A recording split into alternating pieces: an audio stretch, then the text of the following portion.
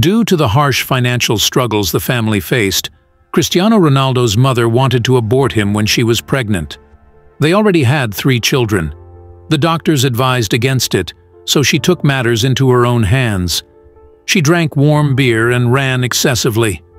As fate would have it, Ronaldo was born on February 5, 1985, in the Portuguese island of Madeira. He grew up in a working-class home. He grew up in a poor family, sharing a room with the rest of his siblings. He didn't have many friends and was also expelled from school. Arguably, the GOAT, greatest of all time, Cristiano Ronaldo has left the world in awe countless times, with his skillful dribbling and outstanding goal-scoring ability. His rise from humble beginnings to a global reputation shows his relentless commitment to excellence. But it has not been without challenges.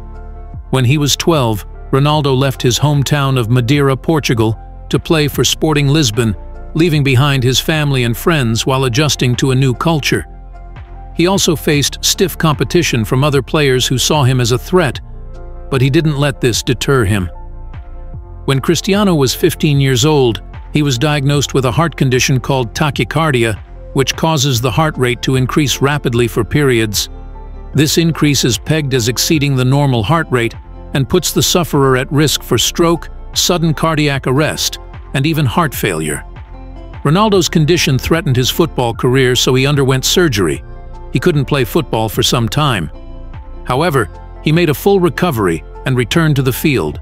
Scouts quickly noticed his talent, and at 16, he made his professional debut with Sporting Lisbon's first squad. Another tragedy struck the football star as he was just about 20 years old he lost his father to a chronic liver condition. José Diniz Aveiro, who was one time the equipment manager for the local club Andorinha. His father was his shining light, and he almost fell into depression because of the grief. But with determination and grit, and the support of his family, his career continued to soar. He quickly drew the interest of prominent European clubs, and Manchester United signed Ronaldo in 2003, marking the start of his incredible journey to fame.